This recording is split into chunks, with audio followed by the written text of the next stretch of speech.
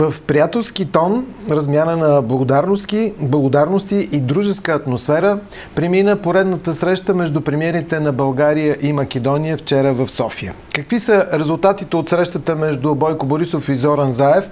Това е най-общо въпросът, който ще задам на моите гости в студиото. Президентът на агенция БГНС господин Люб Чунешков и политическия наблюдател Мирослав Ризински. Здравейте и добре дошли. Благодаря за поканата.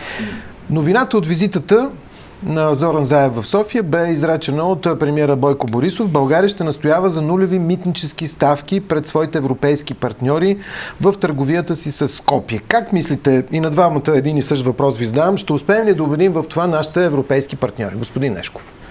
Първо, срещата в София вчера между премиерите на България и Македония е поредното доказателство, че процес, процесът на сближаване между Македония и България е необратим и всякакви импровизации по време на а, дните, когато те не се срещат и не ги виждаме, опити да има някакво охлаждане, са осъдени на провал. България и Македония ще бъдат част от един съюз, военен, първо и след економически, и това ще стане за първи път от 140 години и по това не трябва да има никакво съмнение.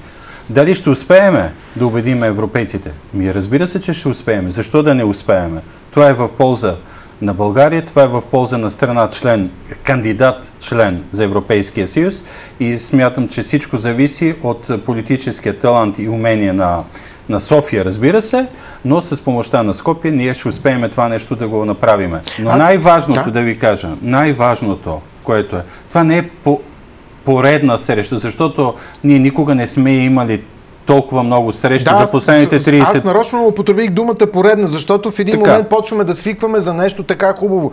Да се срещат премиерите на двете страни, да разговарят ще става все по-хубаво, да, по-хубаво е и вие ще ни каните все по-малко да. и по-малко и на това място ще идват певци, художници, скулптори, економисти, все хора, които ще работят за сближаването, а не такива антипатриоти, които ще ни строят стени от двете страни на границата. Това е поредна среща, която, до, която изпраща ясни послания в економиката и в инфраструктурата. Аз Коридор попит... номер 8. 8. Аз попитах а, а, не случайно дали ще успеем да убедим нашите, значи, имаме... нашите въпроси, а, нашите европейски партньори. Само за момент. Защото когато влезе една страна в Европейския съюз, тогава автоматично митнически тарифи да, отпадат. Има, имаме такава да. практика а, с Сърбия вече. Така че мисля, че има прецедент в това отношение, за да бъдат митата 0% между България и Македония. Между другото беше То е много, едно. И второто много нещо... важно, че бяха цитирани едни цифри вече как се развиват търговските отношения между двете държави. И другото нещо, което е, и другото нещо, което налага спешно това решение, моите информации са, че има много голями инвеститори, и чуждестрани, които искат да инвестират в Македония през България и като пречка точно за тези неща са точно тези мита. И изискванията са точно да паднат митата между България и Македония. А това решение трябва да бъде взето от Европейския съюз.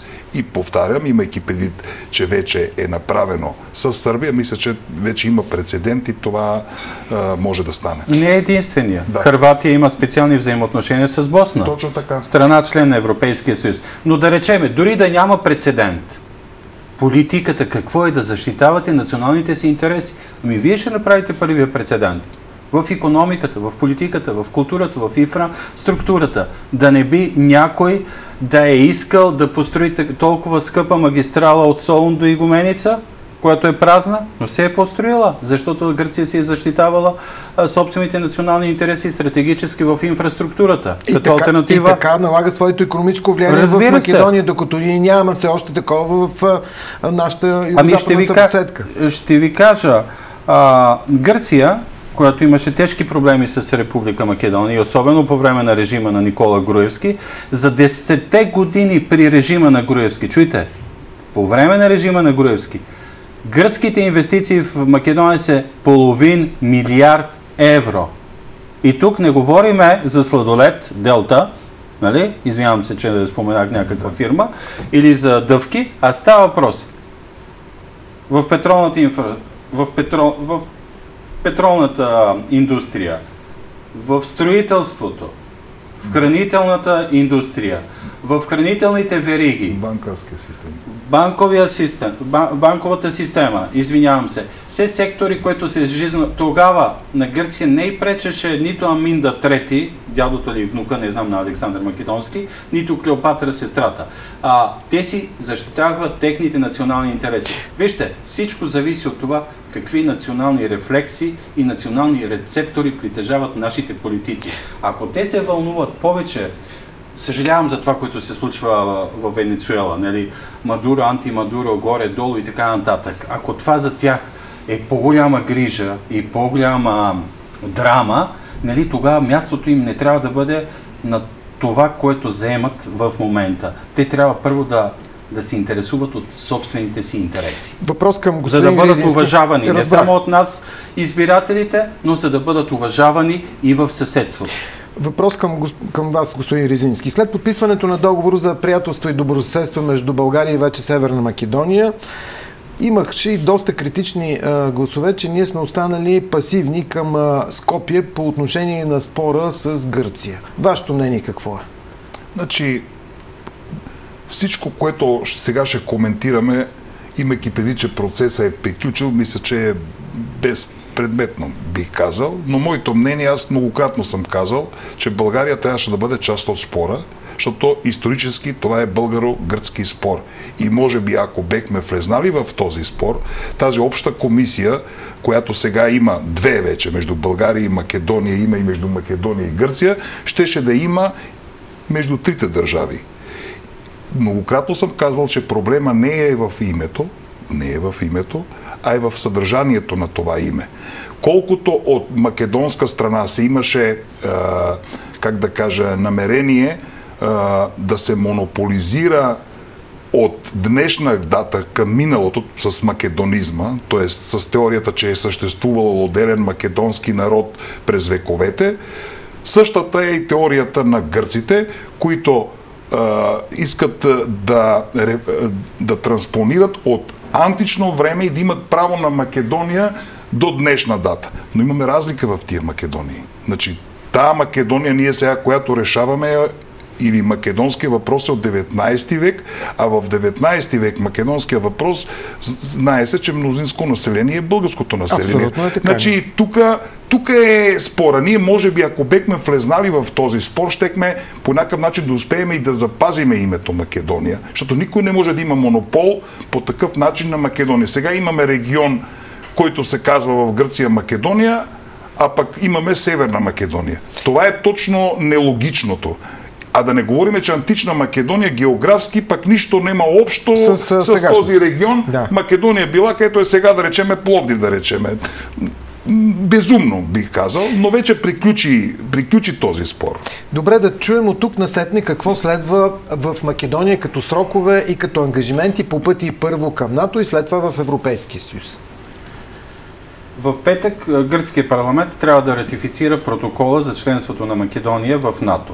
И по този начин на практика приключва първата част от Преспанския договор. Т.е. Македония вече ще започне официалната процедура за смяна на името. Докато това не се случи в гръцкия парламент, т.е. те не одобрят а, протокола, Македония ще се казва Република Македония. И да. това, между другото, е едно от, може да се каже, от добрите ходове и успехите на македонската дипломация. Тоест, окей, искате да сменим името. Това е много тежък, драматичен процес, драматично решение, което те вземат. Но, ако вие трябва да изпълните вашите ангажименти. И тук искам да отворя една скоба, тъй като имат разни там антипатриоти в Атина, които казват Мицотакис, нали, които вече се вижда нали, как влиза в... Е, има 10 преди напред сегашният премьер. Да, да, да, но той какво казва? Ние, като дойдем на власт, това преспанското споразумение и така нататък.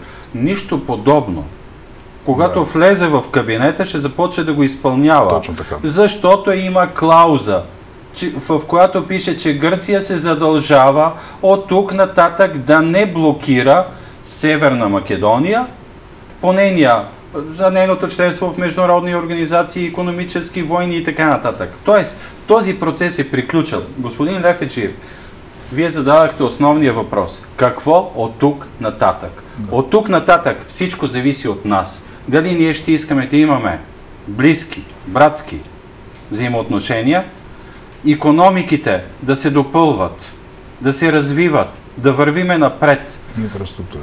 Инфраструктурата, това, което го казаха вчера. Ние непрекъснато ще им напомняме. Виждам, че малко се сърдат, не, че някой им напомня за този коридор номер 8 и ще им напомняме. Е, той е важен и за нас, не само за тях. А, не, не, за тях не е важен, защото те пътуват с въртолети и самолети. Той е важен за мен и за, и за, и за вас, защото Разбрах, ние... аз имам предвид не само за а, македонските не, граждани, но и за българските граждани. Разбира се. Да. Разбира се. Това, това е бъдещето. Вижте, ще, ще кажа нещо друго. Дори някой да се опита да спре, да не изпълни, да шикалкави, защото обича някоя друга страна повече от България, нали? Той ще бъде изхвърнен от политическата орбита. Перспективата на двустранните ни отношения е много ясна.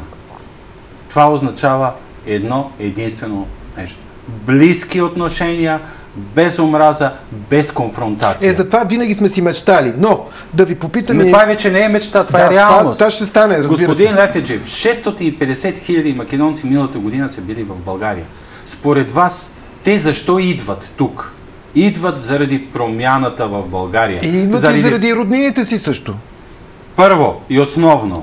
Второ, защото има какво да видят, какво да вземат, къде да, ако щете, къде да пеят, да играят, да танцуват и да се и почиват. Да, и да свободни. Абсолютно. България То... не е единствената страна, която има зимни курорти. Искам да нали, попитам нали, нещо, господин а, Ризински, защото той е той е по-добри от мен. Не, имам предвид, че той е страда от, от режима там. Върховенството на закона не е само пожелание, а е просто национален идеал на всеки един народ да живее в правова държава. Обаче, пътят няма да е лесен, няма да стане за ден-два. Как ще се постигне това върховенство на закона, след като знаем какво постигна режима на Никола Груевски и сега за няколко месеца могат ли да се променят нещата? И как ще се осъществи тази промяна? Как я виждате вие? Ми, виждаме, че все още тия последствия от режима на Груевски няма как да немат влияние и в съдебната система. Това е едно. Второ, актуалното правителство в, тая, в това време до днешна дата най-много внимание и усилия беше посочило в международните отношения, т.е. приобщаването към НАТО и ЕУ но виждаме, че има някакви усилия в тая посока, макар че е, структури в съдебната система, които са били под контрол на правителството на Груевски, се опитват... службите? Също така, то е пък е, отделна тема. Те са главните условия за приобщаването към Европейския съюз, а това е реформиране на службите, което според мен ще стане много бързо с падането на Георги Иванов, който е последната, така как да кажа, оаза на анти-НАТО и анти-ЕУ посланията в Македония и включително реформа в администрацията и съдебната система. Мисля, че Македония е, е свестна за това нещо, е, най-вече, защото го е почувствала на гърба, че това е голем проблем който тежи на врата и мисля, че много бързо е, ще разчисти с тия неща. Заключителна минутка, господин Нешков, да добавите това, което попита. Как виждате вие трансформацията вътре в Македония? Навън вече разбрахме. Много по-бързо от това, което всеки един, вие използвахте дума мечта. Да. Няма мечти. Това е действителност. Македония се променя. Господин Лефиджиев, на 1 юни бе избран за премьер 2017. На 18 беше в София. На 1 август подписахме договора за приятелство. Без този договор нямаше да има преспанско споразумение. Да. Нямаше да го има този процес, който е започнал. Нещо друго. Искам много внимателно да чуем това, което вчера беше казано в сградата на българското правителство.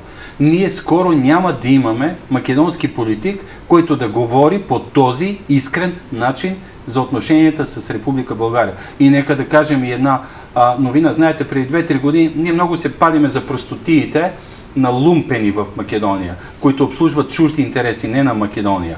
А, за един паметник, който беше съборен. Ами хубаво е да, да разберем и кой е финансирал неговото възстановяване. Еми неговото възстановяване е извър... и финансирано от човека, който говореше в правителството вчера в Скопи, в София. Да. От господин Заев. Да. да. Благодаря за тази новина. Действително подходящ финал. Така ще се развиват от тук нататък отношенията между двата братски народа, между двете съседни страни, България и Северна Македония. Това бе и нашата тема днес във втората част на предаването. Благодаря ви, че бяхте с нас и тази вечер. До чуване и довиждане до утре.